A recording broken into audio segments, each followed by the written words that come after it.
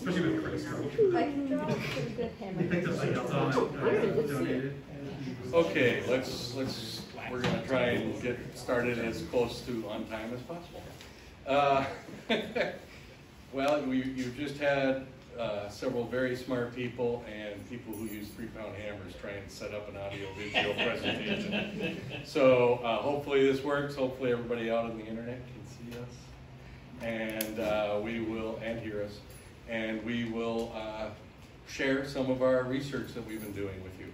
Uh, my name is Craig Johnson. I'm secretary of the Oakeshott Institute. We're a nonprofit institute that's based in Minneapolis, uh, kind of following the, the direct these historical objects and teach and bring people into history and make them love history as much as they did.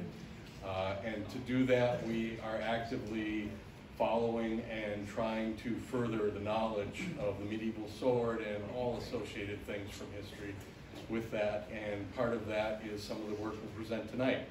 We've been working with scholars from the Minnesota uh, University of Minnesota and uh, also with Amanda and Emily doing their personal research and working on their book. And so this is a lot of stuff that we come across, we find out, uh, we will say, hey, what about this? We start making uh, ideas of uh, what's going on and we try and learn answers. So tonight we will have you, okay? A little more louder? A little louder? Okay. So you want to talk a little louder than I just did. Project.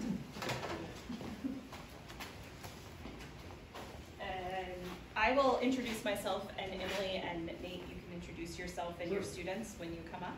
Um, so the presentation that we're going to be giving today is called Tempera in Aqua, experimenting with impact of medieval quenching recipes on steel hardness.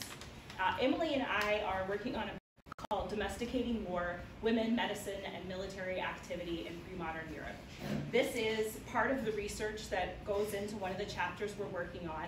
This book is very multidisciplinary and uh, requires collaborating with lots of people. So it's been a work in progress for quite some time. So we're really interested in hearing your feedback, uh, especially if you have other people you think we should collaborate with.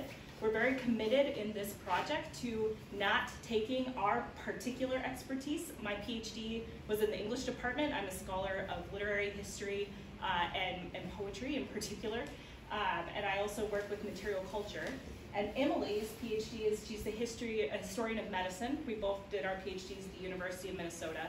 She's now assistant curator at the Wangensteen Biomedical Library, which is one of the awesome special collections libraries at the U of M.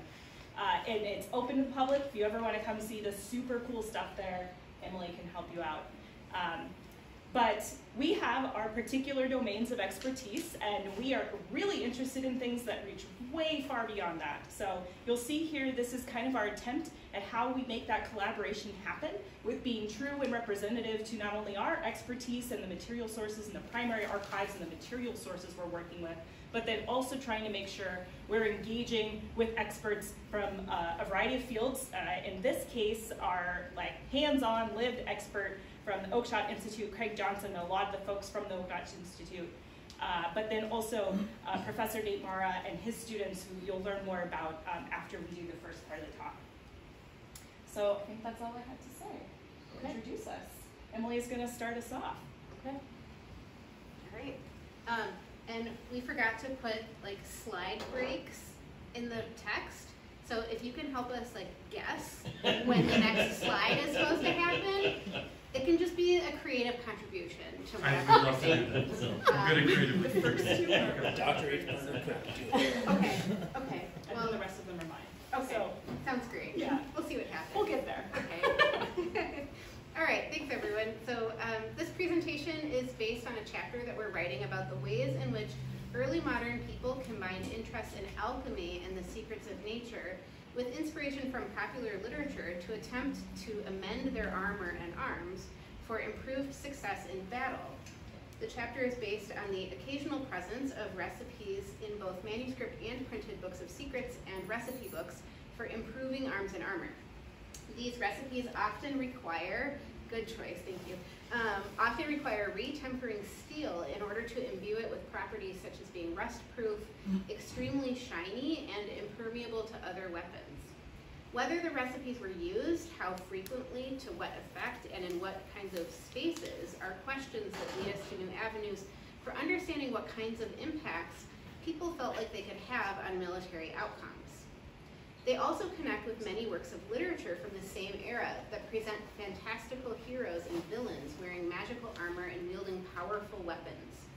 We think these recipes are evidence of the ways that people actualized imagination, taking what they knew from literature and alchemical theory, putting it into practice to affect their lived experience of warfare.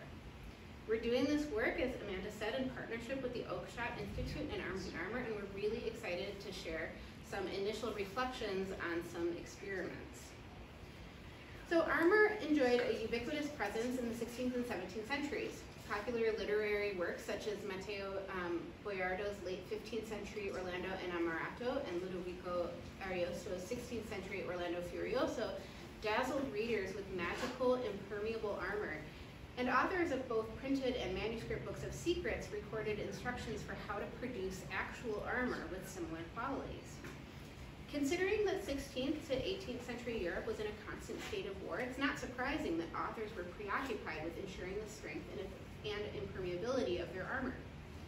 At the same time as people likely assigned the task of armor maintenance to blacksmiths or armorers, they also searched for ways to address a variety of vulnerabilities of armor common to both popular and romance, popular romances and these recipe books in their homes. They also turned to books of secrets for advice simply to make their armor more beautiful and personalized by adding precious metals and other decorations. In our work, we combine approaches from scholarship of material culture and literature to armor, approach armor and arms in a new way considering how people's everyday experimentation and domestic research was contextualized by popular literature and military experience. We argue that this pairing of seemingly unlikely bedfellows of popular romance and domestic recipes not only replicates the kind of interdisciplinarity natural to the pre-modern writer and thinker, but also literalizes anxieties about bodily vulnerability, and more importantly, attempts to take control of a chaotic environment by willing more protective armor and more powerful weapons into existence through recipes and the work of experimentation, research, and imagination. The early modern household, as many scholars have shown, was a critical site for scientific experimentation. From the palaces of rulers and nobility to the humble homes of other folks, in both dedicated laboratories and multi-use kitchens, the natural world could be opened up by those who wanted to understand its secrets. In Italy, especially, books of secrets were an extraordinarily popular genre of both printed and manuscript text, read by the nobility and the literate masses in an effort to understand some of these secrets of nature. These volumes usually included some alchemical information, whether theory or recipes or both, that encouraged readers to engage in experimentation that was transformative in nature.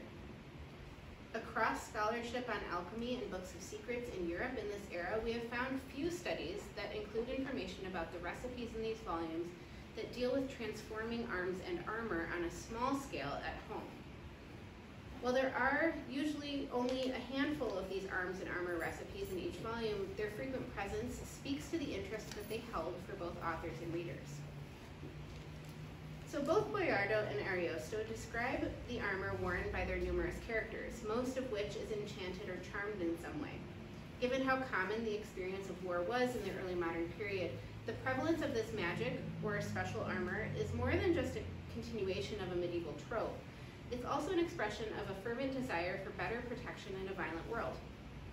We turn first to luminous or shiny armor as proof against vulnerability, the most famous armor in both Orlando Innamorato and Orlando Furioso is in Hector's armor. Hector symbolizes the classical masculine warrior ideal.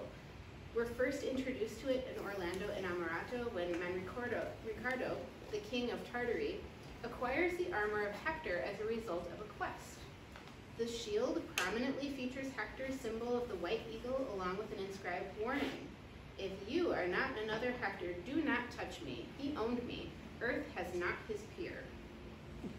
Hector's status and reputation imbue his armor with its own promise and strength for the wearer.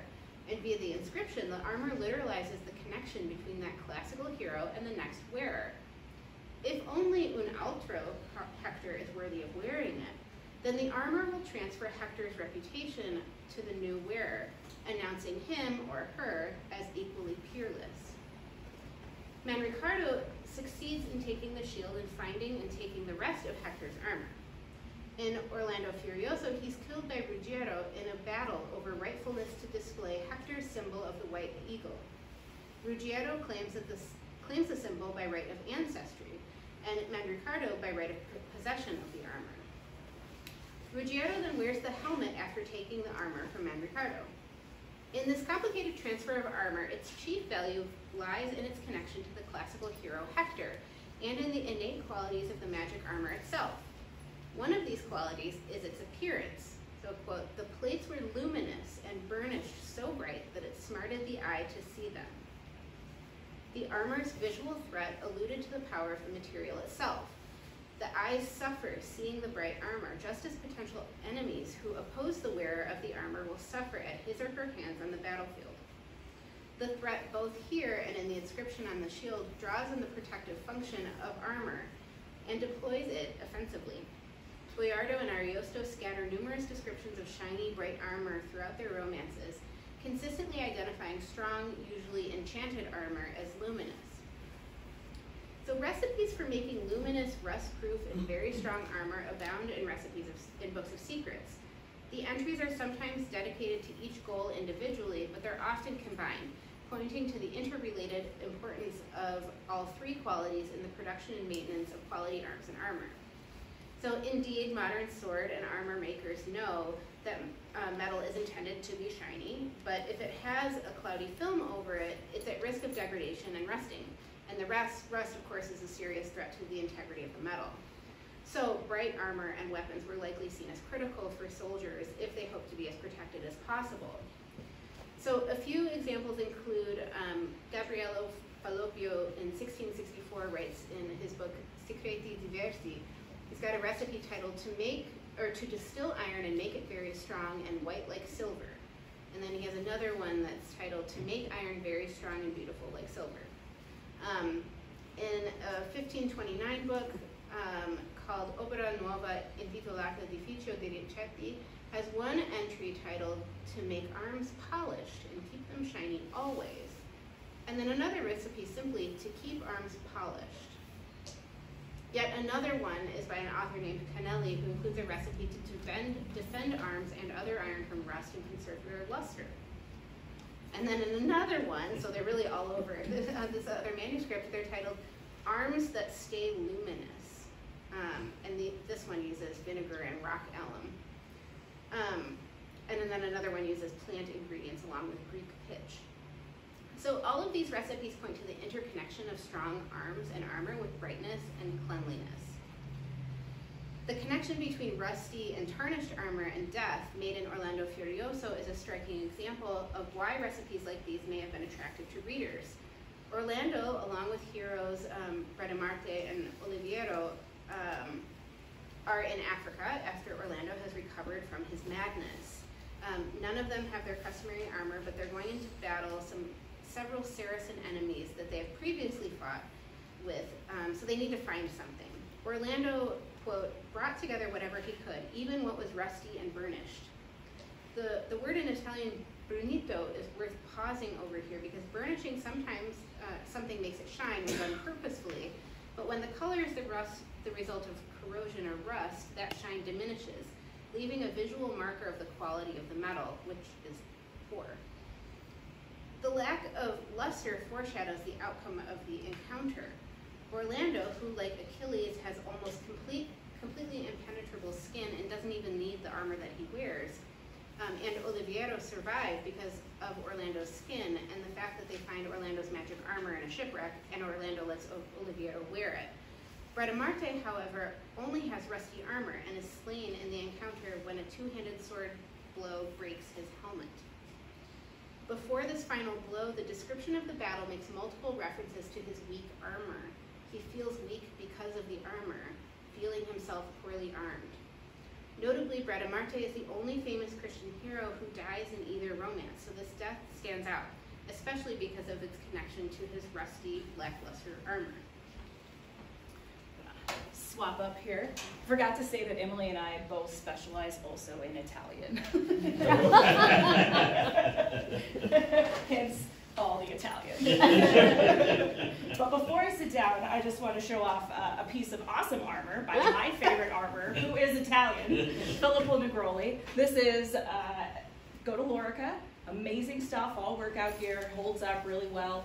Um, this is the Batwing armor, and there are pieces of it remaining in, um, in Russia, at the Met, some in some private collections in Italy. The Met in, I think it was around 2010, was able to bring every surviving piece together for um, a amazing Negroli exhibition that I did not know about because I didn't study armor at the time and missed, but have poured over the book from the Met. Uh, and it's one of the most beautiful examples. And it's also really relevant for, for this talk. That armor, um, one of the things that makes it so special is that Filippo Negroli had a way of working tempered steel without compromising the quality of the steel. So if you see his armor, like he pounds out, it is all embossed. Like it has crazy amounts of detail. It has inline with gold. He was able to do this and apply it and work it slowly enough to not compromise the temper. So when they've done um, studies, like you'll hear about from Nate, on the quality of the steel, it is still high tempered. It is the same quality of steel temper that um, battle armor meant to be used was. So people in the, the pre-modern period would wear this out on the battlefield. People who could afford Negroli armor were not anywhere near the front lines, but they were dressed in something that was not only as beautiful, that was very personalized, but it also had the same protective capabilities as the armor that the soldier, well, in the middle, front lines didn't have the good stuff. So just a little plug for my, my man Negroli there. Um, but now back to this. So we uh, have lots of these recipes for shiny armor, and there are also a lot of recipes for how to harden arm, armor and weapons. So we partnered with Arms and Armor and Oakeshott Institute to conduct an experiment on heat treatment. We use simple 1050 steel. Um, the reason for this, it has fewer of the, the modern, what would be considered impurities if you're comparing it to early modern steel, um, like manganese and stuff like that. It's, it's, it's much simpler, closer to what the steel would have been like. Um, and we picked two recipes. We did one from Caterina Sforza's collection from around 1490, and um, this is the recipe well, that, that we, we selected. Um, we'll kind of look into it a little bit more, but we can leave this up here. The Italian's at the top, the translation um, is on the bottom there. And so uh, Caterina Sforza is this kick-ass uh, late 15th century woman you should read. Um, there's a popular like kind of biography of her called The, the Tigress of Forli, and it is amazing. She is a total badass. She wore, had armor her, herself. Um, she led all kinds of, she, she trained and led forces. She led sieges of her castles. She had like 15 kids. She was married three times and like picked her own um, husband afterwards. She was connected to the Medicis. Uh, there's a saying that she is the inspiration for Botticelli's Birth of Venus, that she is Venus. Uh, anyway, she's real awesome. And but her her example that, that her her collection of recipes is really uh, representative of collections of recipes that would be um, collaborated on by lots of household passed around. Um, and it also is a known provenance, so that's part of the reason why we picked Caterina Sforza. Then we also picked one that's roughly contemporaneous to Sforza's collection. This is 3227A. This is the Pseudo Dobringer. Uh, it's a, a German commonplace book, and it's primarily focused on fencing texts. So any of you who are HEMA enthusiasts, any of you who train at CBA, you have done stuff from um, 3227A. Most of it is used for, um, right, in the, the popular HEMA community to learn how to fight with longswords and all kinds of other stuff. Um, but it also has a section on called On Hardening. And so we picked a, um, a recipe from there. It's sometimes attributed to Hans Dobringer, who's actually one of four authors of an addendum on Lichtenauer's Art of Longsword Fight Fencing. So we picked these two texts for a couple of reasons.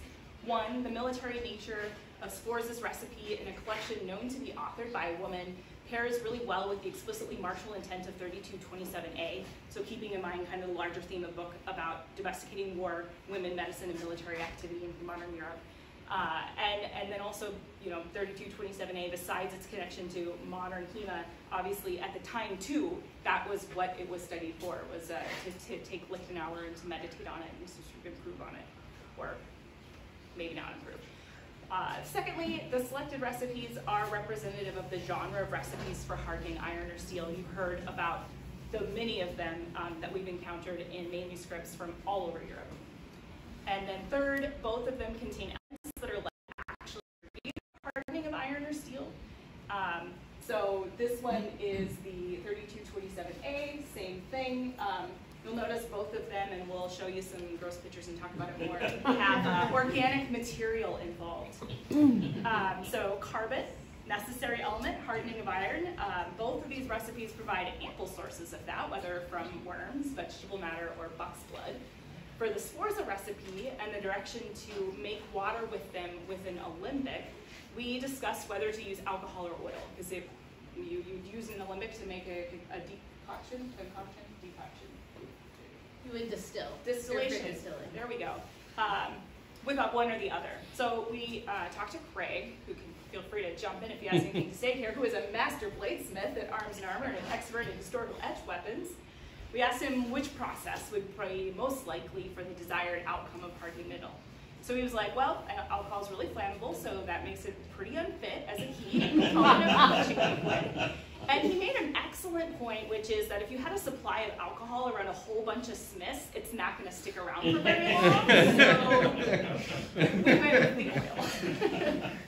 and oil is also obviously a really common quenching liquid, either alone or as a component in quenching recipes. Um, so we added some basically canola oil, vegetable oil, to the Sforza recipe. Preparing the Sforza recipe, um, and you can start, yeah, trigger warning if you're sensitive to images of blood and ground up worms, you might want to look away. Um, I did this in my kitchen, poor kitchen. Um, So gross. yeah, it was real gross. Um, so we prepared this. First, we, we boiled earthworms um, in water to produce a water infused with earthworms. We did that in her kitchen. It was. Um, leeks, and the reason why we used earthworms is because, like the, the word in Italian, um, as well as cockchafer grubs, when we, we looked it up in various dictionaries, was was really close to the variant of, like- of like an earthworm, and they live both here and in Europe. Um, then we process leeks with a small amount of water and radishes just to, to be able to make a um, kind of like a, a distillation and a liquid. So we took one cup each of the worm water, the leek water, the radish water, combined all those, boiled it together to reduce. And then that liquid was cooled and combined with some canola oil and used for the quench. So um, the that's less interesting and disgusting than the 3227A. So you can gaze at this. This was much grosser. Um, a second point to note about the Sforza recipe is that it calls for the maker to tempera in questa acqua due volte. Um, and this is what we're, you know, the title of the talk comes from, to tempera in questa acqua, to slow, temp, it means really similar to what you'd assume it means in Italian, temper in this water. So to slowly change the heat gradient, tempera, temperare, and to do it in this water referencing specifically the, the worm, leek, radish situation. Um, and to do the two times. So you would temper, heat, temper. Tempering twice is an interrupted quench, and it's a common practice by metal workers. Four to 500 degrees Fahrenheit is where most tempering happens. So in this process, the heated metal would be quenched and then pulled out at about that temperature, so it doesn't quench to full hardness. Let's lets the metal cool down as it draws the heat from the unquenched part of the metal and it helps offset brittleness. The preparation process for 3227A was more involved. First, we needed the blood of a running buck.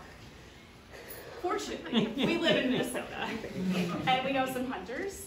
So we got some buck's blood like last fall. This was quite the adventure. Everyone who went out hunting, we are like, Kate, we need you to bring us back some blood. It has to be from a buck. Um, that's what, you know, hunting season is when bucks are running, so presumptively every buck is running around that time.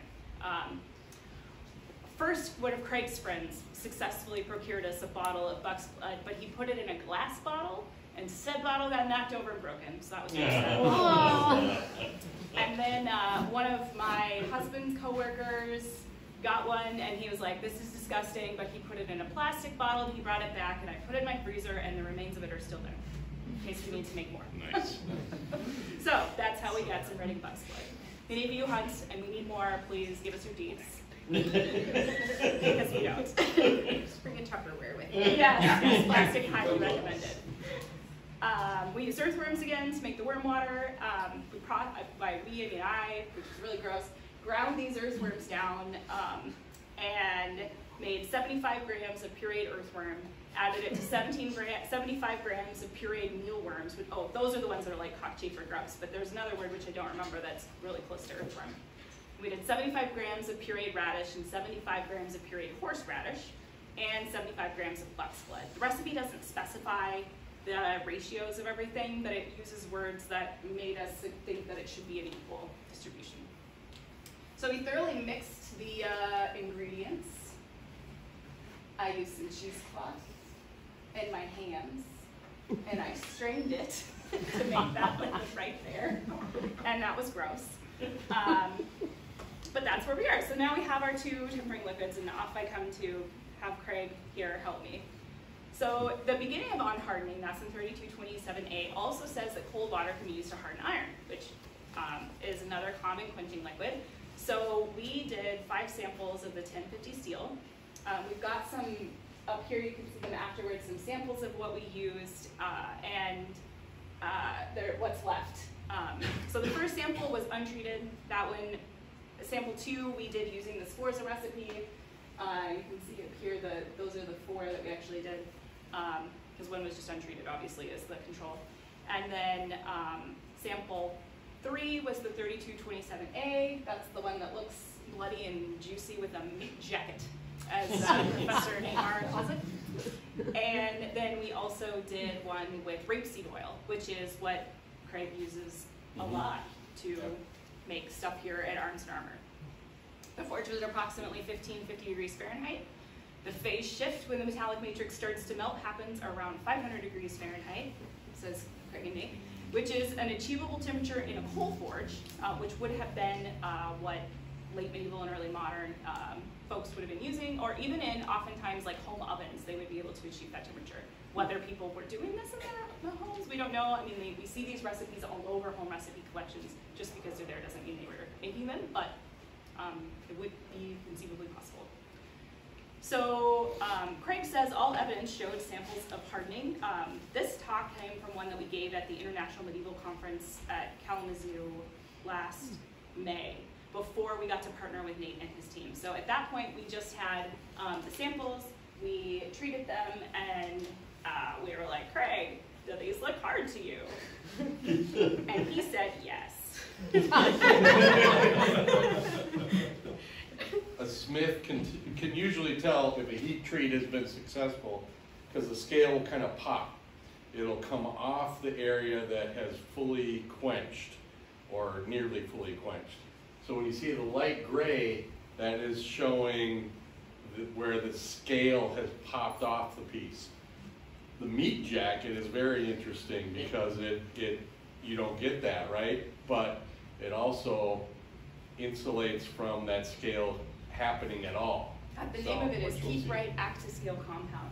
Yeah, the, there's, there's an actual powder that we have purchased, that's an industry, uh, tool for controlling scale when you do heat treat. You heat the piece up to about three hundred degrees, you sift this powder on and it coats it, and it looks like that, literally. And so when you, then you continue the quench process, get it fully hot, quench it, and it'll come out with that kind of crusty orange look to it. Literally can't tell the difference between the two visually. So, uh, very interesting and, uh, uh, kind of a leading result in a sense where you want to say, well, okay, who back then smart enough to figure that out? You know, kind of thing, so, yeah, interesting stuff. so we're gonna turn it over to Nate here shortly, but we wanted to step a little bit back and say, you know, like, what is our goal for these experiments? Um, obviously, they're neither deeply scientific in approach, um, and we don't have very many samples. They're certainly not statistically significant. Um, they are reproducible, but um, particularly, I, you know, I put it all in my freezer, so you could even use the same liquids if you really want to. Um, but our attempt wasn't, we weren't trying to methodically reproduce particular recipes or metallurgical practices, and we're not trying to attempt to answer the question, did the recipes work? What we are trying to do is seek to approach embodied knowledge production from the perspective of what could these recipes potentially do? Why might people have tried or wanted to try out these recipes they collected? And especially with relation to the embodied practice of knowledge, hearing, uh, you know, a modern day Smith, especially, you know, even if you took, if you took someone who had a similar skill set but without the historical knowledge that Craig had, they're still going to say, I can look at the metal and tell me you know, that's the similar things you were telling me, like this is when I can see a phase shift is happening or whatever. This embodied practice of producing these material objects and interacting with them is an integral part of studying them. And so, so often scholars who are literary historians, who are, or literary scholars, historians, people from the humanities generally, um, most of us who study history don't, we live up in our heads we, uh, many of us, I don't, I don't, I'm not in academia traditionally anymore, but many of us spend all of our time in universities thinking um, and not doing things. So it was really important to us to think through that embodied part of this knowledge production. So that's why we bring together these recipe collections, popular literature, um, those Italian texts that Orlando Furioso or Orlando Innamorato. Orlando Furioso sold more copies than the Bible in the 16th century in Italy. Like it was wildly popular. Uh, think Game of Thrones, that level of popularity, but Orlando Furioso. and, um, you know, Brandimarte could not have been the only pre-modern warrior, fictional or real, who felt himself poorly armored. And while he had no recourse to Sforza's worm cocktail or 3227A's rutting buck's blood concoction, the wealth of recipes for treating, hardening, or otherwise improving arms and armor testifies to the affective appeal of something like a home remedy that could make one feel less vulnerable. Our collaboration with Arms and Armor, Oakeshott Institute, and our colleagues at University of Minnesota Materials Department um, highlight the importance of approaching embodied knowledge production not as a static set of practices, but as a dynamic and evolving process shaped by social, cultural, and material factors. So now you get to see some really interesting science stuff. Uh, one, one thing I'll, I'll like to add to that is it gives you a wonderful insight into the medieval mindset of you have their versions of science and philosophy and understanding of the real world, and then you take our worldview where we measure things in nanoseconds and fractions of degrees, things they had no sense of. But we are able to interpret the things they wrote in ways that really make reality in our minds uh, work. So in 3227A, most blacksmiths, guys with big beards, bigger bellies, and a penchant for cooking barbecue, will look at those and say, yeah, that works, right? They don't necessarily see it too often because it's not translated, but when they see the recipe, they go, yeah, so that practical knowledge now being meshed with our knowledge allows us to really delve into ways of obtaining that objective mindset that they had where they saw nature and the world around them and affected it by recipes and magic is science, right? And our ideas come from a textbook, so we're gonna let Nate go. Thank you. So Yeah, so thanks for the kind introduction, I really appreciate it. Other, other deck. Yeah. Yeah, if we can move to the next deck here.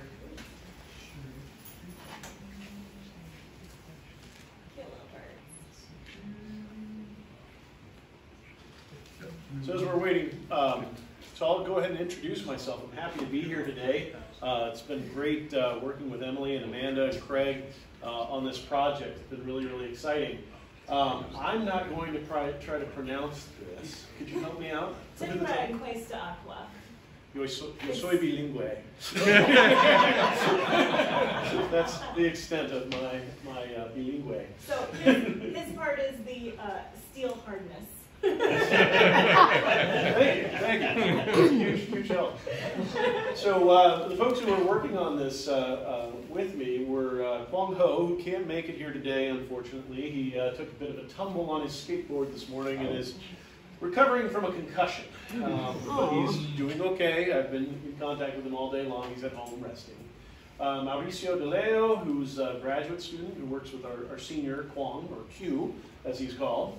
Uh, David Persky, who's a professor at the U, who does a lot of work with steels. And then, of course, myself. Um, I'm with the Department of Chemical Engineering and Materials Science there at the U. Um, where I came from is I grew up in California. I went to UC Davis, uh, got a couple of degrees in mechanical engineering and material science and engineering, and then stayed there. Uh, found a great lab to work in and started doing work on metals, um, on a creep of metals, so high temperature deformation for things that go into jet aircraft and stuff like that. Um, stayed there, got my PhD, uh, then did about 12 years at Los Alamos National Laboratory in New Mexico. And in 2017, came here to the U and uh, started working uh, with students. It's been a great, great ride since then. So you might ask, what do material scientists and engineers do, right? I like to say that it is the original engineering. Cave people picked up a rock, they said, this is a hard rock. They took another rock, they sharpened the first rock, they threw it at a mammoth. That is materials engineering. Some people say it's the world's second oldest profession.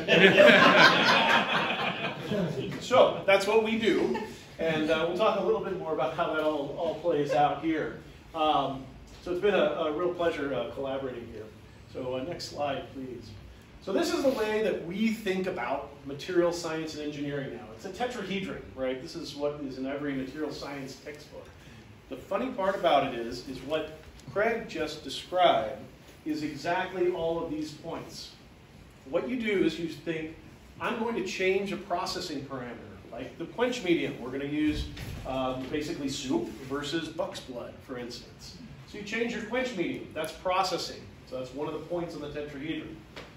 That changes the cooling rates of when you take that, that blade and you plunge it into the cooling medium, you change the rate at which it cools down. That changes the microscopic structure of that alloy. And so that gets you up to the structure part of the tetrahedron. That then determines the strength and the deformability of the material, which are your properties. And then at the end, you say, all right, I got these properties of this particular material. You make it into whatever you want, in this case, a sword or a blade, and you can get the toughness you need, or what I like to call whoopability, where it's strong enough to cut through whatever it needs to cut through, but not so strong that it imbues brittleness into the material and causes it to break. And so that's a new technical term that we've, we've coined here. So if we go to the next one. So this is a bit of an eye chart here. This is out of the, out of the, the literature. Uh, it's a work called Beer, Blood, and Urine, Mythological Quenchants of Ancient Blacksmiths. What they did is they took a piece of metal and put a bunch of what we call thermocouples, drilled a bunch of holes, put these thermocouples in to that, that piece of metal, and then went ahead, heated it up, and then quenched it into a variety of different media. So the fine lines that you can see here, so we've got, oh, it's hard to see. So the, the yellowish one, the darker yellowish one is synthetic urine, strangely enough. Um, the lighter yellow one is beer. Uh, water is blue. And then you've got milk, which is kind of this orangish one on the right. And then bovine blood was the other comparison that they made.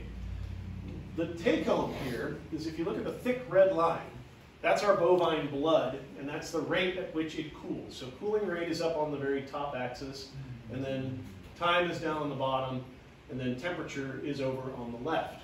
So what happens with the bovine blood, you heat it up to a high temperature, you plunge it into the quench medium, and it starts to cool.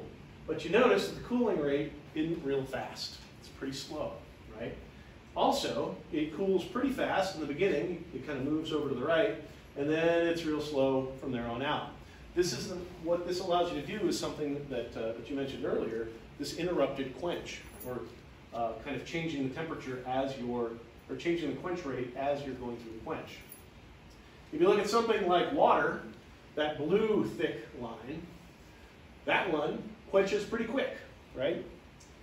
If you then go to something like synthetic urine, so you add a little salt to that water, now you can quench even faster, which is the one that comes out furthest over to the right.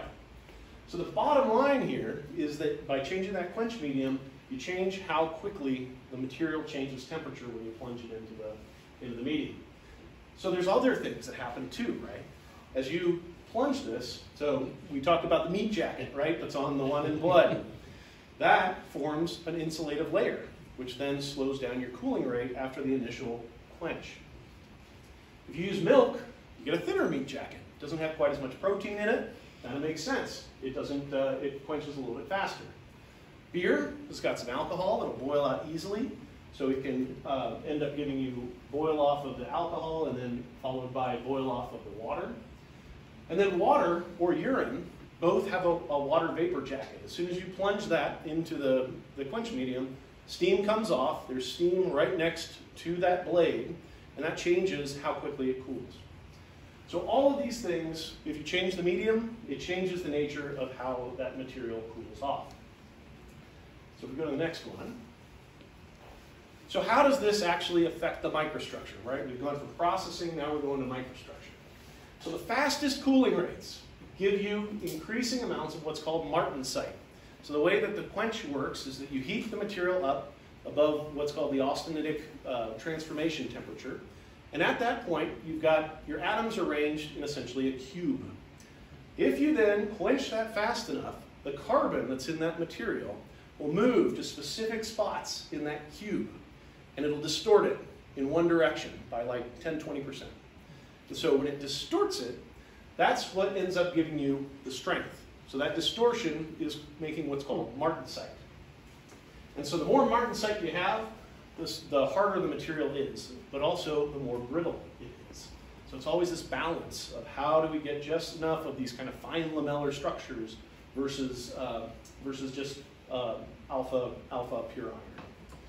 So what we want to do is block these defects that usually allow you to deform a material and increase their strength. So you make a bunch of these little needle-like looking, looking uh, precipitates or needle-looking phases, and that increases the strength. Now in general, a slower cooling rate makes a coarser structure, so less of these little needles that give us our strength. There's other structures, so this is the, you know, the, the structures of steels are really, really rich and complex. Even though what we're working with here is just a medium carbon, 0.5% uh, carbon steel, um, you get all kinds of different structures, and we'll see that here in a minute. They're named after all kinds of different things and people. Uh, pearlite, which I guess it looks like a pearl, I never really got this one. But what that is, is alternating layers of iron 3 carbon, which is called cementite. As the name implies, very strong, very brittle stuff. Usually makes little needles. It's brittle. And then it has alternating layers of that with ferrite, which is just plain old pure iron, which is usually ductile. And so if you make a pearlitic steel, you can get both strength and ductility, which translates to toughness or higher whoopability. so one of the counterintuitive things about steels and microstructures in general is that smaller is stronger in material structures. The finer you make the spacing of these very hard particles, maybe it's cementite, maybe it's martensite, the, the harder it becomes. And so we're always going to try to balance these length scales. Is it so small that now it's too brittle? Or is it too coarse that now it's too soft? So we're trying to figure out how to, how to uh, you know, make this trade-off. So finer pearlite, if we can make the layers here fairly, fairly uh, uh, uh fine, you get a stronger material out. So if we really cool fast, then you get this martensite phase, which is the finest but the most brittle. So now you got to figure out, okay, we're heating this up to some start temperature. You got to choose the start temperature, which, as Craig said, he can figure out by looking at what that surface looks like. We call that optical uh, thermometry. in this case, in this case, the detector is Craig's eye, and as you'll see, uh, Craig's eye is pretty good. I put some money on that one. So, um, so you've got that as a, as a variable. You've got what happens when this hits the, the quench medium. What temperature did the quench medium start with? How much quench medium do you have? Did the temperature of that quench medium go up as you were quenching? All of that changes what the cooling rate of the material is and what it sees. And so if we go to the next slide, this is what we call a time temperature transformation diagram, which is a fancy way of saying that a bunch of people took um, a bunch of uh, steel and quenched it at different rates and made these little curves. And it looks like a nose, if you can see it. These, these blue lines that are coming from the right, they come over to the left and they make a nose, right? And so if you want to make a material that has all martensite, so your strongest, most brittle material, you want to follow the red line. So you heat the material up above what we call the austenitic uh, transformation temperature, and you get that, uh, the phase gamma, right, which is up the top, looks like a little, I don't know, a fancy E.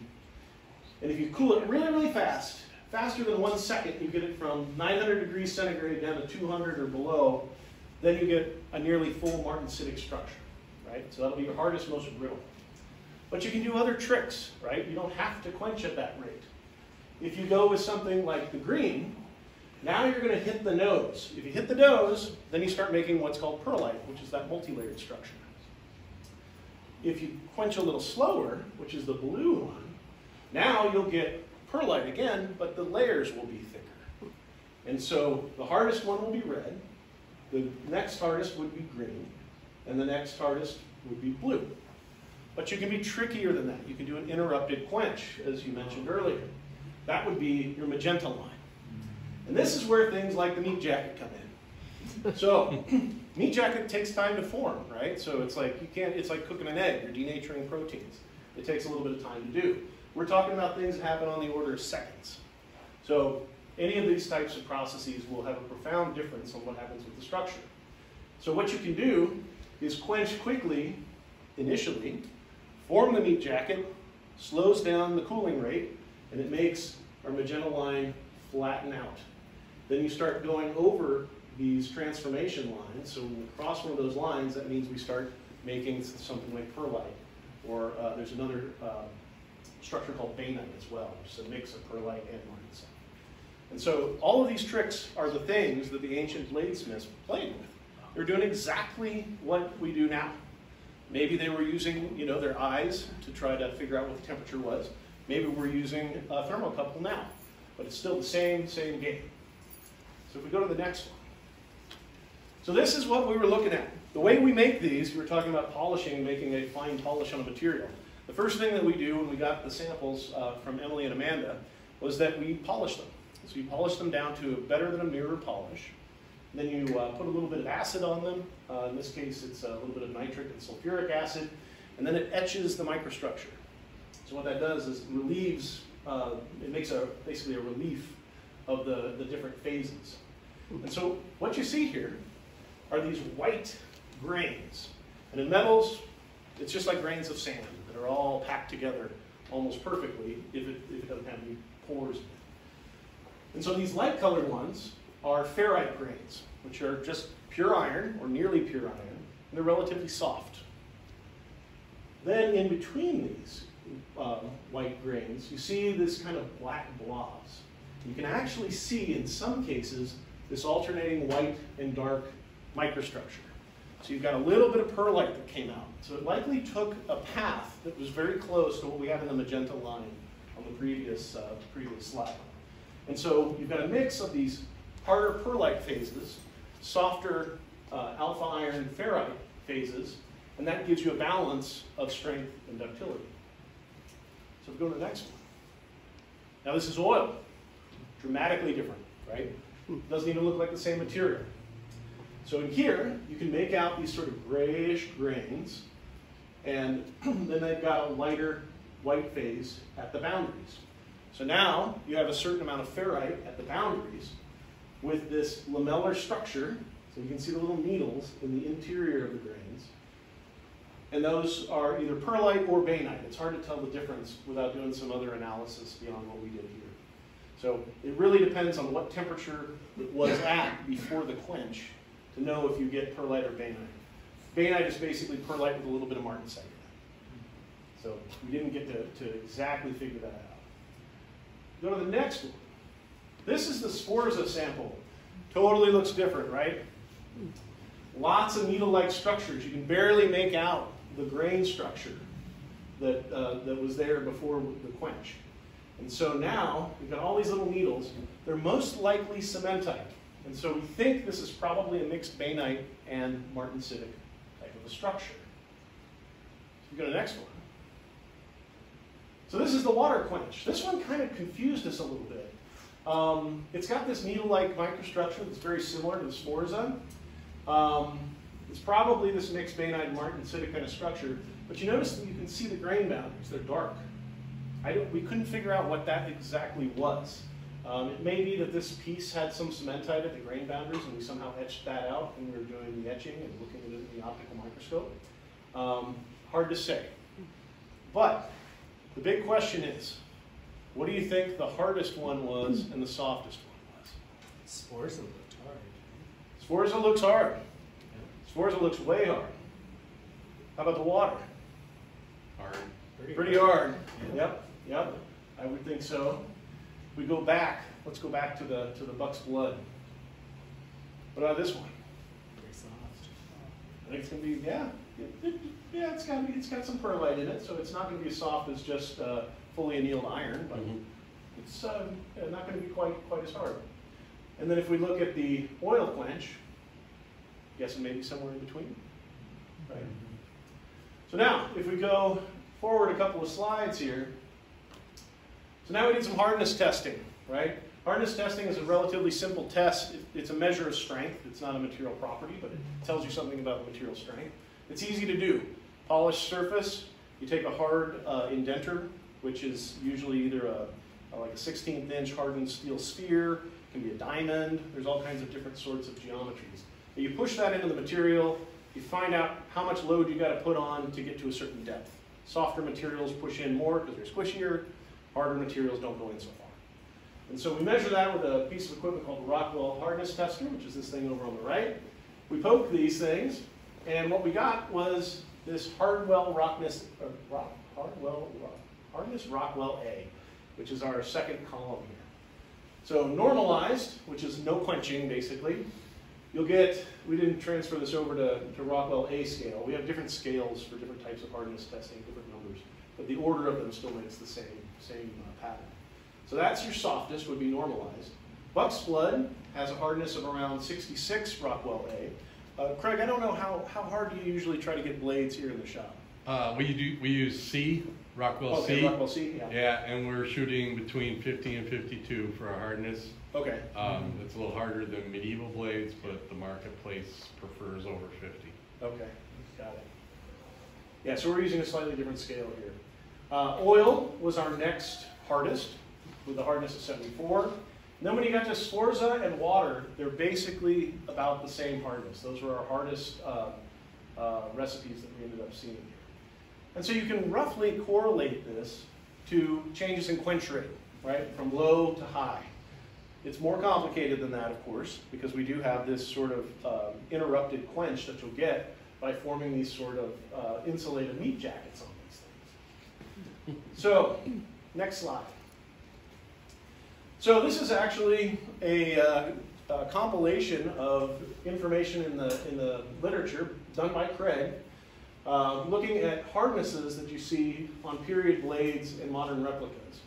and so you see down here with the Rockwell C, our hardnesses, we, we did Vickers hardness, so if you go back one, we're somewhere between 312 and 715. Now if we go back, you can see that 312 on Vickers hardness down on the bottom is somewhere in the, yeah, you know, a little bit below the, the halfway point on how, how hard these things are. And then over 700, you're going off the charts. And so all of these different recipes that we looked at are in the range of what you would expect for a historically accurate blade. So it's all kind of spanning a, a large range here. And so um, what I would say is that the magic works. The experiment was a success. It, it worked unequivocally. Um, you know, I would say that uh, it actually was pretty well controlled and a great first set of experiments. I mean, it was good, good design of experiments. I would say that you know we should probably do some more, but uh, that's what that's what all professors say when they're looking for funding. We'll write a grant. exactly. exactly. So we go to the next one. So just a few few concluding remarks. Like I said, success. Uh, the quench media totally affected the uh, the final hardness, which is an indicator of strength of the final alloy. Uh, we varied a bunch of uh, different microstructures. We went from mostly soft ferrite with a little bit of harder uh, pearlite, giving some some strength from the buck's blood. The soft ferrite at grain boundaries with more of that pearlite or bainite at the grain interiors gave us something a little bit harder uh, with an oil quench. And then you really got a lot of these final, fine needle-like structures uh, with the Sforza and the water. So the likely cooling rates from slow to fast, buck's blood, oil quench, Sforza, and water. And uh, yeah, great project, and I really, really had a lot of fun with it. So thank you. Appreciate, appreciate all. Any questions?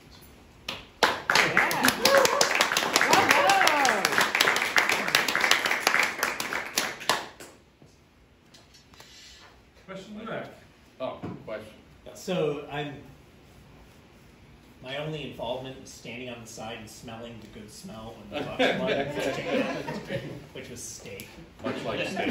Steak. But, but, but, but, Yeah, I didn't need to know there were worms in it too. um, I'm curious, is there a theoretical reason why we would suspect that the buck's blood would cool uh, less rapidly?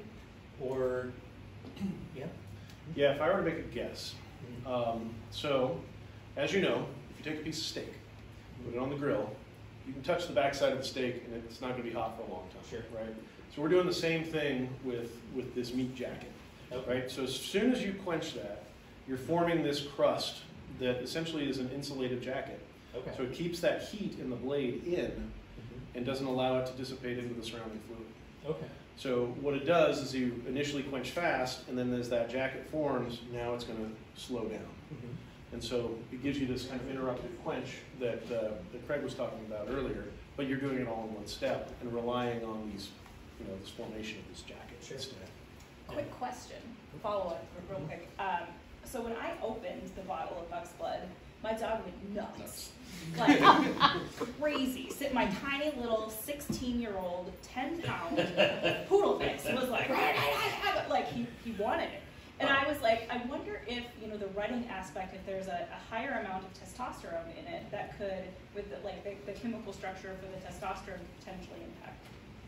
Oh, the vet's right there. Yeah. Multidisciplinary. It's not toxic. It's not Some masculinity is toxic. If I were to put myself in the, the shoes or the hooves, as it were, of a rutting buck, and I'm thinking it's fall, it's kind of cool outside, I could be eating and drinking a lot of water, but instead I'm chasing the ladies. So I would guess that I'm a little dehydrated, and I would think that that would probably change it quite a bit. Just a guess. I mean, I think, I think the other mm-hmm. aspect of this is the, the rutting buck is thinking again about the alchemy mm-hmm. aspect of this, that Yeah. like mm-hmm. you're transferring some sort of like innate quality from the animal to the material, like in this sort of imagination of people. Yes. You know, there's, Yes. there's really this idea that like you have, like the humoral quality is, is being then transformed into this product. So that, I think that's the magic part. Yeah. And also, Yeah. radishes are very forte, right? Like radishes are strong. Yeah. Like, why else Yeah, use that particular vegetable? yeah. Okay. Um, you probably don't have an answer to this question, but I'm really curious. Uh, uh, do you think that there was any effect to freezing the buck's blood, uh, possibly lysing the of the red blood cells and things like that, and how that might affect uh, the outcome of. I, I activity. wondered about that. I don't know. I mean, it, it Yeah. probably would have had more water. Did it not clot? It clotted. It, oh, okay. Yeah. Okay. And, It um, was that, that juice. Yeah, another, another recipe in three two two seven A talks about getting buck's blood and then letting it sit and separate. I didn't do, no. And then you take the, the serum or the clear stuff at the top, and then you dip a feather in that, and then use that to slide down a blade, and use it as a way of testing if it's reached the tempering temperature. Mm. And it literally says in 14th century German, German, it should make the sound of.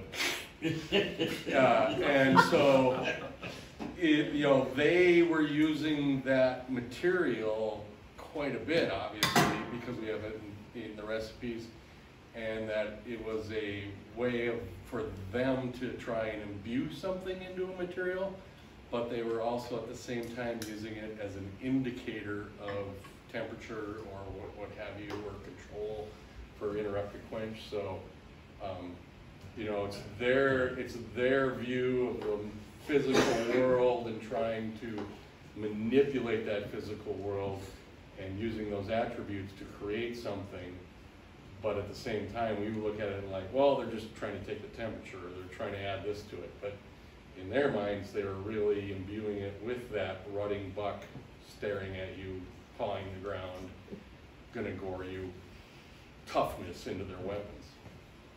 I thought about that too, Dale, but I also think, okay, when you're putting something in there to that of that temperature degree, those red cells are going to lyse in a second, right? Right. Not even a second. I, mean, I can't even quantify the amount of like minuscule time. So Right, yeah, that's what that it, kind of was made me wonder too. But it could be whether or not- interesting Yeah. second experiment. Yeah, My red round blood two, cells fresh boil blood. away so Got fast. All right, when I touch hunters. something that- Give me fresh blood. As a smith, how much in modern days do you have control over that, that temperature rate, that rate of decline? Whether it's very fast or very slow? I saw quite a disparity in the different Yeah, media. um, I would say as a modern smith, I'm thinking about quenching in anywhere from one to three, four seconds, at most Okay. six seconds Uh, is the max. Um, you're trying to plunge through that line of the nose. So those things coming from the right-hand side of the graph, or the, Mhm. yeah, right-hand side of the graph, you're trying to cut that nose. Okay, Um, the interrupted quench is something that I've learned about and viewed as something where you dip it, pull it, and then dip it again, kind of thing, where you're letting the residual heat come back into the piece. But here they had you accomplished it with a quenching. So now there are probably modern chemical quenchants that do that same thing. Uh, if not, there are several metallurgists studying that are probably working on it right now. about controlling the rate, um, do Yeah. you, you know, do you hear, I- and I'm thinking about in the ages before you had clocks that could count Oh, count yeah. seconds. You use you use all those things. You use the flame, you use the smoke, you use the Oh, yeah. color, Mhm. Uh, the monsters. sound. Yeah, yeah. If you quench a blade with a thin edge in cold water and you're getting a steam envelope, uh, it can become out soft because the steam envelope's so big. Or when you're holding onto it, you can feel it go tink, tink, tink, tink, which are all the cracks appearing in the edge Yeah. because the edge hardened faster than the thicker Okay, back yeah. edge. Um, so you got all of those things going on and you're A lot of experience and intuition that goes. yeah, and and always remember the Don't forget the swearing. yeah, the swearing, yeah, the swearing, the drinking, all that stuff. Um, the a, a sword is always a compromise. You're, you're, you know, if there was an absolute sword of the best design Right. with the best material, everyone would have one. We don't. You're, you're always compromising all these things in the materials, in the text, and the concepts. So, um, you know, w- I, it, it just amazes me every time I dip, dip into the historical sources and see how much they had sorted out. Yeah. With their objective view of the world, you know? You're dead on. So good. Go ahead, Donald? Oh, uh, knowing like that a smith would use like the blood quench as like a sales point to be like, oh, I quenched in this, and everyone knows that's better. Is there any evidence in any of the sources that like um, any items done that way appear any different in their finished form? So like another person walking down the street would be like, oh, that he had his blade quenched in that fashion, or would it be like you just have to tell him that? Yeah, there, yeah, I think uh, Parker, who's uh, the expert on the Far Eastern blades, I think there's some of that in their writing even, isn't there? So this is, uh, seeing this whole thing, we should really do like a collaborative project because um, that's one of the telltale signs according to text that goes far back as the 800s on how to make swords and really how to recognize when someone is screwing you when you're buying a sword. you don't want to have something break when you're using it. And one of the telltale signs, it gets, it's one of the few things that gets passed down through all the iterations of this text as it's reproduced, translated in different languages, is smell. If your sword smells like deer, if it smells like meat, if it smells like rotting flesh, it's like perfect. Don't change it. If it smells nice, sweet, if it smells like someone has been oiling it or adding like, you know, lime maybe to it, then like you know the sword is going to break. So it's like I was thinking of the meat jacket and um, some It still smells bad. But bad smell might save you in a pinch. I don't know if, it's- if that was carried on in the European text, if that was translated or Yeah, the- accessed, but. there is, There- I mean, I, I wrote a blog post about it a while back, and I don't remember the title, but, um, the, the curator down in Chicago worked on the project, uh, Jonathan, and there's a couple texts in the European context about, these are the things the cutlers and furbishers do to make hilts and make blades and things, and how to, how to go in and buy yourself a good one if you're, if you got the money, can read this book and it bought it, kind of thing. Uh, the other thing is the third oldest profession after the, you know what, and material scientist, is the cudgel maker who's taking a stick, but it's a very special stick that only we make. And this special stick will allow you to conquer the buffalo much better than that stick, because that guy makes crap sticks. Okay, that's, that's the way it works. We're humans. Question from the chats. Uh, Craig Hey, chats. and everyone else who's now seen the results of the research, if you had to go into battle with either a Buck's Blood or a Sforza, which would you choose and why? Buck's blood. Buck's I think I'd rock the Buck's blood. Yeah. Don't want my blade to shatter. Yeah. Yeah. On the Yeah. helmets.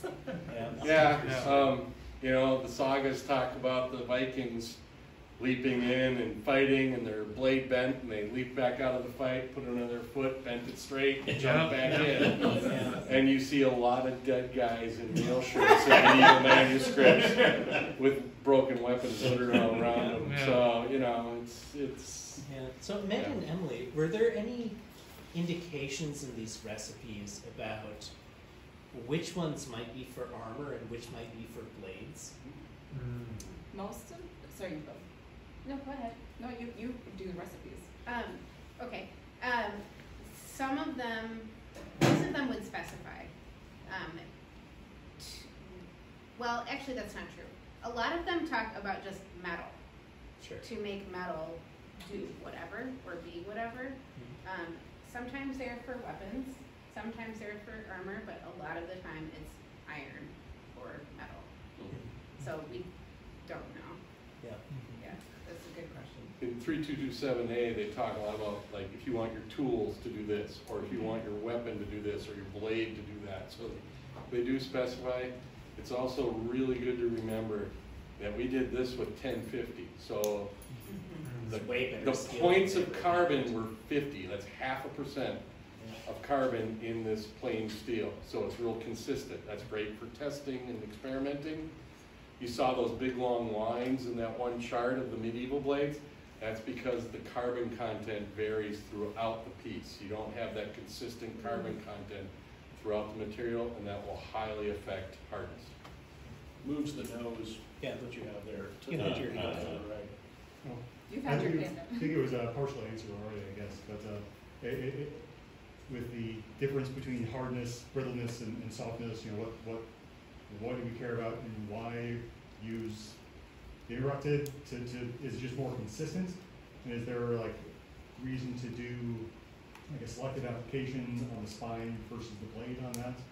Uh, I, I guess any references to that in, in history or, or any uh, uh, testing done? Uh, yeah, I think it does kind of specify in certain ways. Okay. One, they're using the recipes to do that. So they're saying, use this recipe for this kind of thing. So they want you to achieve a certain result because of the recipe. Um, the, the understanding that the heat, heating up the hardened piece will temper it is there. Mhm. But remember, these people had no clocks that dealt with anything other than the bell ringing when it was eventide and those kind of things. And their temperature control was, that looks like the right temperature. Um, so you have some things like the, the feather, which will tell you, yeah, it's ready, it's tempered. But in a lot of ways, you're working from the color of the fire, the color of the piece when it comes out of the fire. Uh, so our control of doing a full quench and then a temper to the temper to the correct hardness would be very difficult for them because it would be very hard to say that they wanted 535 in their oven as opposed to 500, Okay. right? It's not going to make a lot of difference, but it, it's a difference, right? And so they don't have that control. So the interrupted quench was a way of them controlling their world and their and their materials in ways they knew they could, Okay. uh, as opposed to stick it in the fire and hope, you know, kind of thing. I think an interesting thing about the recipes that maybe is good to point out is how minimal they are. Like, it, and our slides were not up here for very long, so you couldn't see, but like the, in order for something to qualify as a recipe, all you need is a list of ingredients. You don't need amounts, you don't need like any sort of other instructions, you don't need any information about the expected result. It's just like ingredients and that's it. And so that's what a lot of these are, is like the ingredients and a purpose make it. And you're like, okay.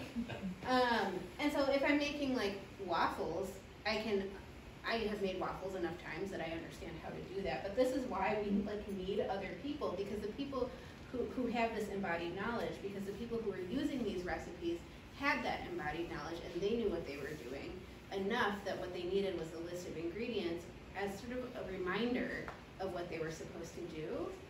Um, but all of these questions are why we need people who have the embodied knowledge to figure that out, because that's not written anywhere in these recipe books. It's really just like buck's blood, earthworms. Yeah, these leeks. were much more Make detailed than a lot of the ones we've seen. Yeah. You think the uh, seasonal like nature of the ingredients, like you can only get a you know a rutting buck or these vegetables during a certain time period, do you think that added to like the magical nature of the recipes? Because it like it indicates scarcity, like you can't make this all year round. Mm-hmm. So Yeah, I think so. And they don't they don't all include ingredients that would be hard to find according to season. Like the buck's blood, yes, absolutely. But like worms are kind of around all the time, right? Like things like garlic are able to be stored, right? If you're living in a more temperate climate that is not Minnesota where you can't grow things for most of the time, like you can like probably find leeks or of some sort or some sort of onion thing. Um, but people in this time period are living seasonally more than we are. And so, yes, I think absolutely there is a seasonality that is going to imbue certain things with certain qualities. Yeah. Are there any uh, recipes for sabotaging an enemy's arms and armor? Yes. That's the next chapter. Not- I mean, they're not quite like this because I, I'm trying to imagine like a situation in which you're like, "Hey, enemy, can I borrow your sword for a minute?" And, like, I'll make dip it it so in this much liquid. better. Um, but there are definitely recipes for like how do we, um, I There. I remember there was some, yeah, that was like, well, there was some to make you like invisible. Yeah. uh, uh, so that like your enemy can't see you, and then there was ones to like make sounds happen so your enemy gets distracted. Yeah, yeah. And there were, um, was stuff like, there was something you were supposed to throw. There was there were a lot of recipes we found for this chapter about um, like related to gunpowder. Yeah. Um, Yeah. and so a lot of this like making sounds that are distracting kind of things would be like in that vein. Um, but, but yes, my favorite are like the mischief recipes, like how to walk past a dog in the night without it barking. you. How do you do it? It's called a state. Yeah. So that might relate to another question from the chat. Uh, why are these recipes appearing in fencing manuals and fight books? Uh, fencers actually making these recipes? Any context for that we can glean? Yeah, so a lot of the ones that we're looking at actually are in household recipe books, and so they're they're in. I I describe recipe books as being early modern Pinterest, which I know Pinterest is like not as popular as it once was, but basically like anything you could think of to make would show up in these books. How to So- dye your horse green. How to dye your horse green. Why? Lord. I don't know. Um, so it's just in this whole world of, of making things. And that's the context in which we find most of them. When they show up in fencing manuals, of course, people have, have their materials that they're caring for, right? And so you have to, I don't know, like if you're interested in cars and you have like a book about cars, you might have like a, a manual about how to take care of your car. Like, Think, yeah, think of a medieval house book as your hard drive on your personal computer. Everything's in there, right? Stuff you want people to see, stuff you don't want people to see. But, uh, the, yeah, stay on it. Um, but the, um, like, uh, three two two seven A, right, the Dobrin, that's a house book, right? So everybody's like, oh, it's got, you know, everybody's freaking out about the sword stuff and the combat stuff, right? The section for how to treat and con, and use metal is right before that section, and everybody just blows over it because they want to get to the sword fighting, right? Uh, it's kind of like the preface in all the other Western martial arts manuals. Nobody pays attention to what they tell you about their system. They just jump in because they want to fight longsword. So when you look at everything in the book, you can you can get a better picture about the person who put that compilation together. Um, a lot of them were probably scribes, as far as I'm aware, because they were the people that had the access to not only copying books for other people, but they would have had paper, ink, and all those things on a readily supplied basis and would be able to say, oh, I'm copying this book for somebody, but it's really cool info, so I'm gonna put it in my house book too.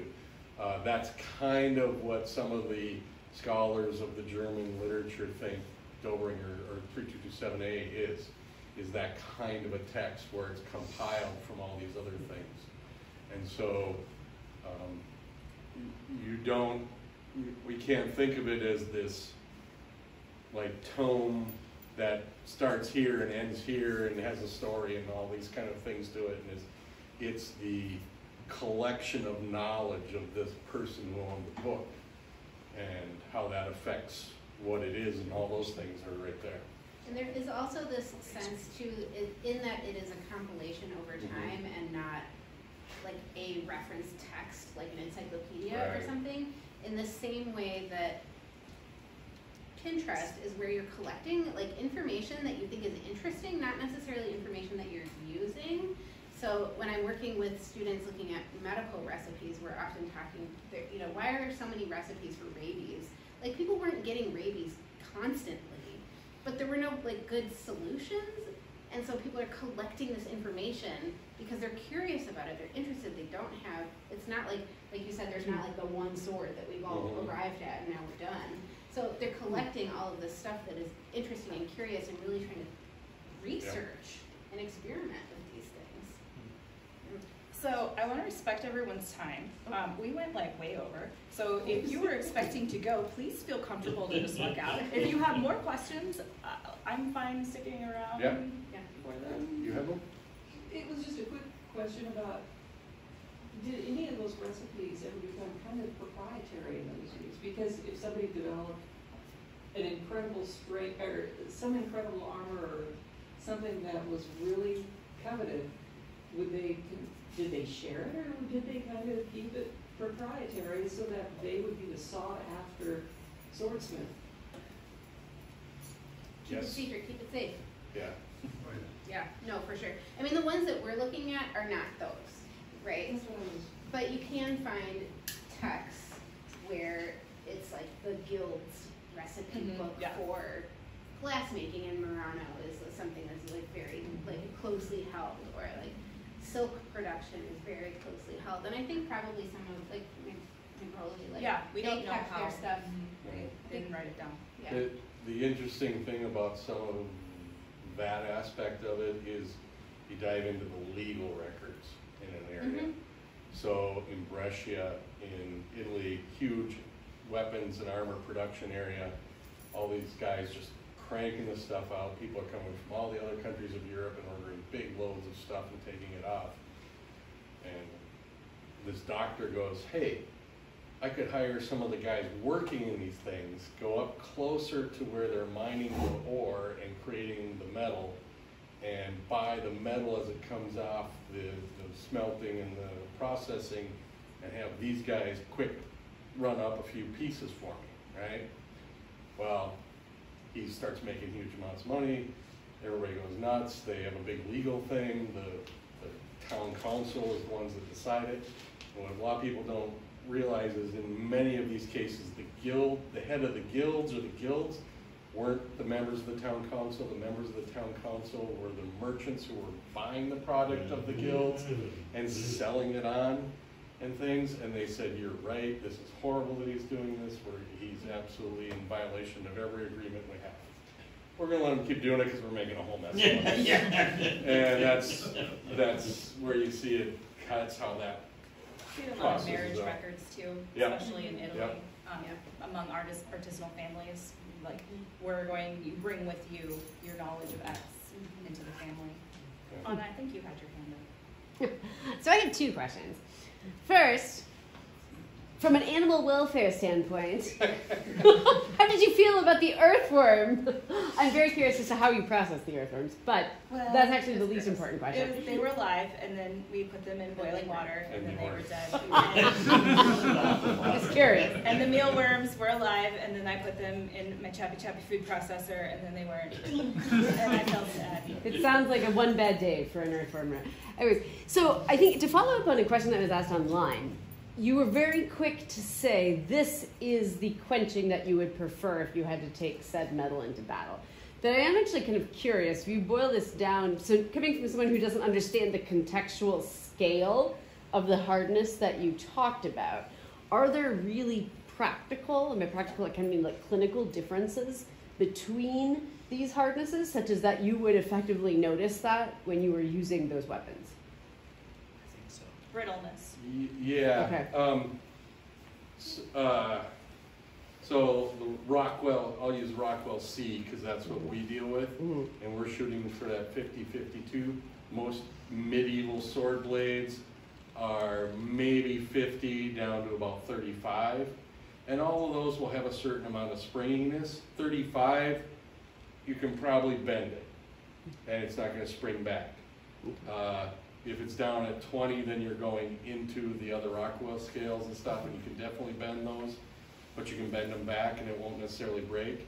If it's over 65 or getting close to 70, you can definitely have metals, depending on the metal and the different alloys in it, that are going to start snapping. Um, when you quench something and it's uh, as hard as that particular metal can get, certain steels, if you dropped it on a concrete floor like this, would shatter. So it, it is that balance that you're after, and that's why we're all thinking, I'd rather have it so I can still use it. You know, a Mhm. slightly bent sword will still kill you, a broken sword, I might not be able to reach you. It- Was there a difference between the hardness of like the, the, the edge versus the spine in, in a lot of these historic swords? Or, or with this, is it more, a little more consistent across? the- Yeah, um, it, edge hardness on historic swords is a real interesting thing because some smiths, especially like the, the, uh, uh, Frankish smiths would use the best steel they had, which they were able to tell that this got harder and was better. They would put it all the way around the edge of the sword and have softer, just pure iron and less hard metal twisted up inside, so you get the pattern blades of that period and stuff. Um, in a lot of the just bog standard historical medieval swords, when we've tested them, you're not seeing, um, a huge amount of difference in most of them. Some of them you're seeing, they have soft edges and hard centers, which probably means they got something mixed up when they were making it, but they still made it and sold it. Uh, other times you're seeing, you know, where they've carburized the edge, so they've gone in and had figured out that if you bake this with a carburizing material around the edge of the blade, it will add hardness to it. Um, iron, when it has phosphorus in it, is harder, so then you can, you know, have that as a process, so, um, you know, and they, and that's the other thing to remember is, they didn't have a real concept of iron and steel at this point, you had iron and hard iron. Wait, uh, you, you mentioned, I think that they did quench twice in one of the recipes, is that like carburization you think that they were doing, or? No, I think that that's, just- that's controlling how hard it gets. They're by doing slowing whole- down the by- cooling. By dipping it in twice, or doing the whole process twice? Dipping Dipped it it in in. twice. Dipping Oh, okay, dipping okay. it twice. So you dip yeah. it so it cools somewhat, Okay, pull it out, and then dip it again so it cools out. okay. Thank you. Real quick, what, what, what did you have in there? Yeah, a quick question from the chat, I think it relates to this for Dr. Mara and Craig. Were there any challenges with comparing the described visual signs in, in historical sources with, uh, modern metallurgical qualitative signs for analyzing samples? Well, uh, it depends on how historical you want to get. So with, uh, with doing optical microscopy and things like this, that's been around for about, I don't know, hundred years or so. So it's, you know, as far as the technique goes, it's not historical at all. It's all, know. I think that's the question. Does that answer the question? Yeah, I think so, and maybe even just if I can extrapolate, uh, any surprising features of what you would normally do with metallurgical analysis compared to the uniqueness of these samples. Uh, the, the most puzzling one was that last one that was the water quench, actually, which was, which was surprising to us. Um, I didn't show these results, but we also did some x-ray analysis on these. And the only one that actually came up in the x-ray analysis as having that cementite, that really hard needle uh, type of structure, was uh, the water one. Now, there's a detection limit for all these things. These needles are super, super fine. And so it's like, well, how did that water one actually work out, and what would you do to it afterwards? I mean, you could temper it most likely, and there would be post-processing if you were to actually use that. It was a little surprising. Um, we talked about the hardness of the metal, and it leads me to ask about ductility, which would be sort of the softness, right? And is there a trade between the hardness that you want and the flexibility that you need? Mhm. That's, that's the. That's the magic. That's, That's the the magic. Yeah. That's making a sword.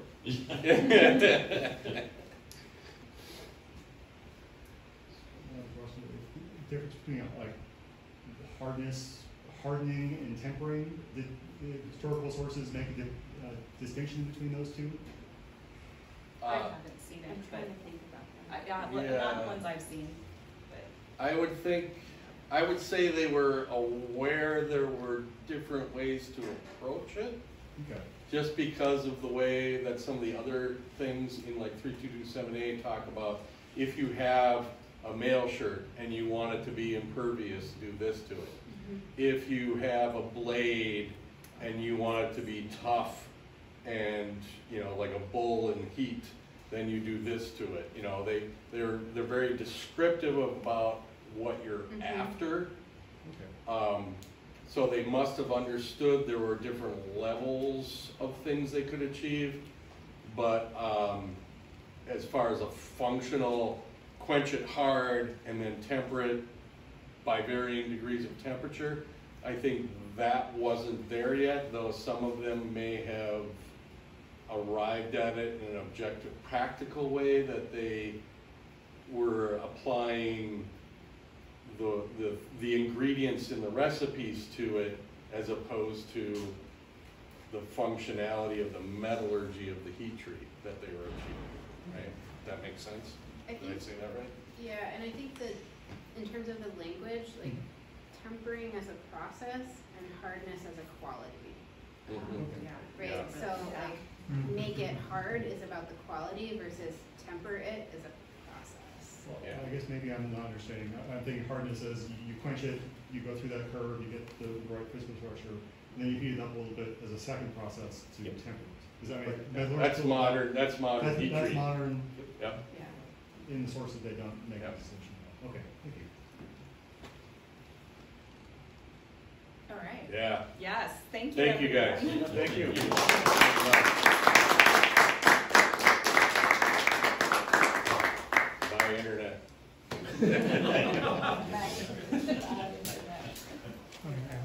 yeah, oh, good, oh, sure. Because I did wonder about the quantities of fluid that. Yeah,